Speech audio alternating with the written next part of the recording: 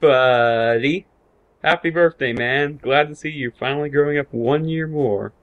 Uh, I don't really know what to do, so here's me dancing the brass monkey for a few seconds.